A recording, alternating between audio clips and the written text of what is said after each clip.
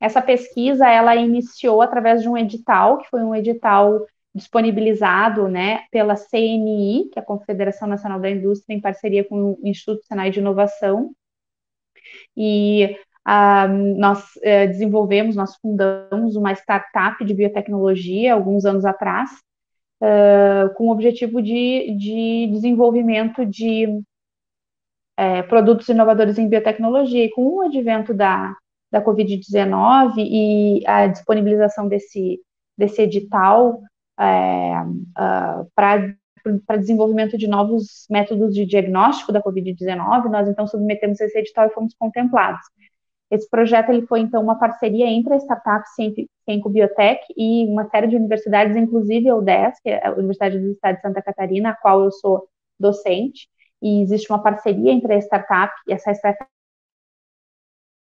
foi criada e ela é tecnológico, então através de todo esse ecossistema de inovação nós conseguimos, então, desenvolver esse trabalho em conjunto. E o trabalho, ele objetivou, num primeiro momento, o desenvolvimento de uma formulação que fosse capaz de detectar uh, o coronavírus em superfícies, né, em, em, em superfícies, é, uh, mesas, cadeiras, enfim, né, para a gente detectar a presença do vírus em algumas superfícies. Uh, e a primeira parte do projeto foi bem sucedida, no sentido da gente desenvolver uma molécula que conseguisse detectar o coronavírus mas um, o desenvolvimento da fórmula rápida no, no formato de spray para detectar o vírus em superfícies não foi bem sucedido. Nós não conseguimos uma sensibilidade adequada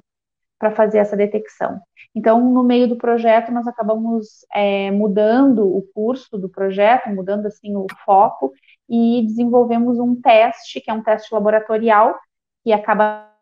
não sendo tão rápido, né? uh, quanto uh, o que a gente estava esperando num primeiro momento, que seria uma detecção de, da presença do vírus né, instantaneamente. Esse teste é um teste que está sendo finalizado agora através de uma validação com parceria com a Universidade uh, Latino-Americana, UNILA, em Foz do Iguaçu,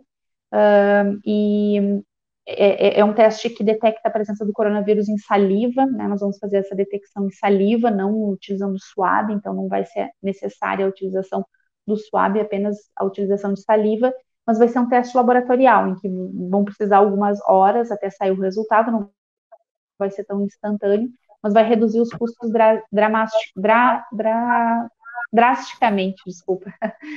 drasticamente, uh, possibilitando então um ensaio em massa, né, com custos reduzidos, e também uma facilitação, porque vai ser utilizada a saliva, mas vai precisar de estrutura laboratorial, não estrutura laboratorial muito complexa, como testes de PCR em tempo real, são estruturas mais simples, mas é, vai ser necessário, então, né, um tempo um pouquinho maior de algumas horas até o resultado sair. Esses testes, eles não são tão, não são tão simples de serem desenvolvidos, tudo que demanda um desenvolvimento é, é, de testes, novos testes de diagnóstico, eles não, tão, eles não são simples de serem desenvolvidos, então eles acabam levando um tempo, isso é inerente da pesquisa científica, isso é algo que uh,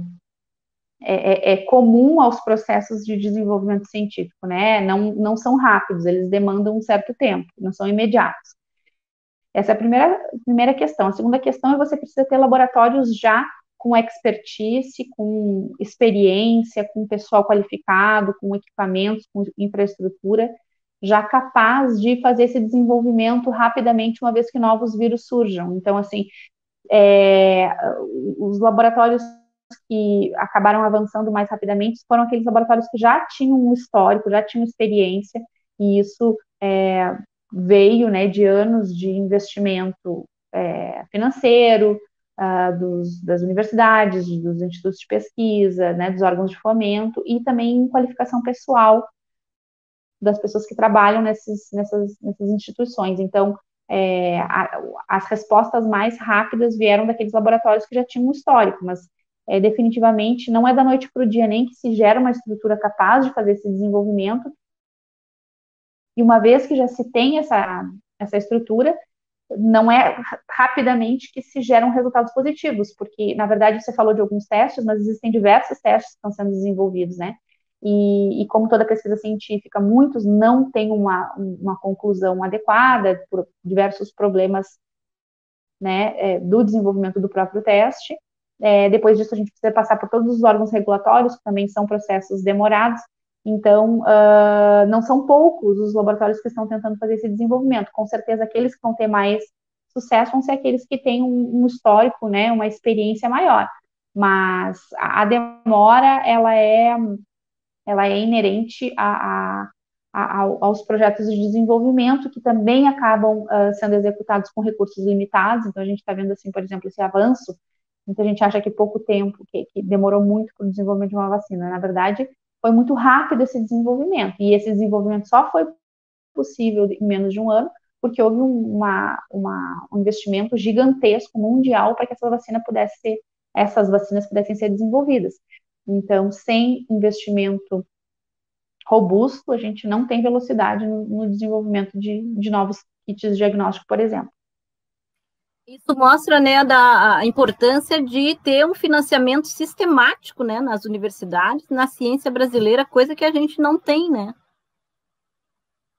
É, definitivamente o financiamento ele é, é, é importantíssimo, é vital, né, para a continuidade das pesquisas, porque o desenvolvimento desses procedimentos são caros, o, a matéria-prima é cara, equipamentos é caro, manutenção é cara, infraestrutura, e pessoal também, né, para você ter formação de pessoal qualificado, é, demanda, né, um recurso financeiro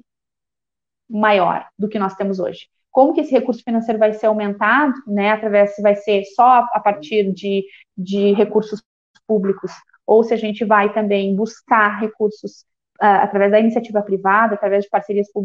público-privadas, são iniciativas que precisam ser repensadas, né? Porque definitivamente hoje o que a gente tem de investimento na pesquisa científica não é suficiente para a gente ter, ou pelo menos as políticas que nós estamos utilizando até o momento não foram suficientes para a gente ter uma rapidez maior que outros países que investem mais em pesquisa. Então, mas como, essa, como esse investimento vai acontecer, isso vai depender né, de, de, de muito debate para que a gente tenha recurso suficiente para investir em ciência e o recurso atual não é, não é suficiente. E no caso desse trabalho específico de vocês, quer dizer, ele está nessa fase já de ser enviado para as agências, para aprovação? Existe a possibilidade de, disso estar à disposição dos catarinenses no mercado? Como é que está agora nesse esse nível dessa, dessa pesquisa aí para que a gente possa ter acesso a esse tipo de, de teste? Ele é um teste que está sendo é, finalizado a, a, a, detecção de sensibilidade e especificidade em amostras de saliva e um, é, esse uma vez que esses dados, nós já iniciamos é, tentativas de parceria com indústrias que tenham capacidade de produção desse teste e instituições também. Uh, a gente não tem como tipo, passar data, até porque as pessoas acabam ficando frustradas quando a gente passa uma data e, e, essa data não é alcançada de maneira precisa, mas nós estamos nós temos bons resultados para detecção de saliva em pouco é, em, um teste não imediato, mas um teste que acaba sendo é, desenvolvido uh, acaba sendo, precisando de algumas horas para ter o resultado positivo e com um custo muito reduzido. Então, é, a gente acredita que dentro de pouco tempo a gente vai estar tá submetendo essas, esse, esse kit finalizado para aprovação da Anvisa. Uh, eu, eu, penso que o máximo que a gente conseguir de é, políticas públicas que propiciem uh, a